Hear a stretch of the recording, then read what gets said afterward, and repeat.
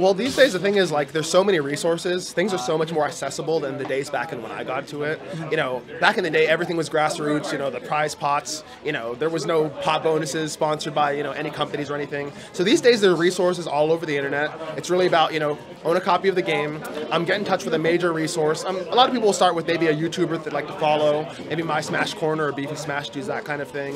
And it's all a lot of it's about expanding your knowledge base from wherever you start. So maybe you know how to play your character. There's 80 characters in the game. You know, Ultimate, you have to learn all those matchups. A lot of it's about kind of like picking the point from where you're at and expanding in the competitive direction, which is just basically what are the things that separate casual Smash from competitive Smash. You know, there's a rule set. You're gonna start learning about things like frame data, character matchups. So there's an enormous amount of things to learn, but a lot of it's just like you kind of start where you are find resources around competitive Smash, and you'll sort of move in that direction. And I'll be honest, like you know, the sources you find and, how, and the, the, direction you move in will affect the speed of your growth.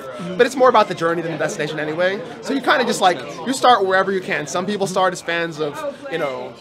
Like that guy who made Falcon combo videos and just put like LMAOs all over it, and other people started off as you know Hungrybox fans. It, it doesn't matter where you start, but just like moving in the competitive direction from there, that's all you got to do. Uh, I highly recommend uh, getting to know your character, paying a lot of uh, time to the game, you know, is more uh, on, how to say it, uh, based on reaction, you know, the more reaction you have and the more you know the game, the better it will be for you. Uh, I'll definitely recommend checking out like social media. I feel like that's a big link for everything. Like if you don't know where to go, try to check on like a Facebook page. See, like if you have Twitter, try to ask around. I feel like school is also a great place to start. Like if you have friends or anything, or like any social event. Like hey, do you play Smash? You know like the competitive scene or anything like that? But definitely social media, specifically more so Facebook. It's like every like Facebook page will have like groups and stuff like that. You can just go and join, be like, hey, where are the local scenes at? They'll provide you like an address and stuff like that. It's yeah, it's very simple.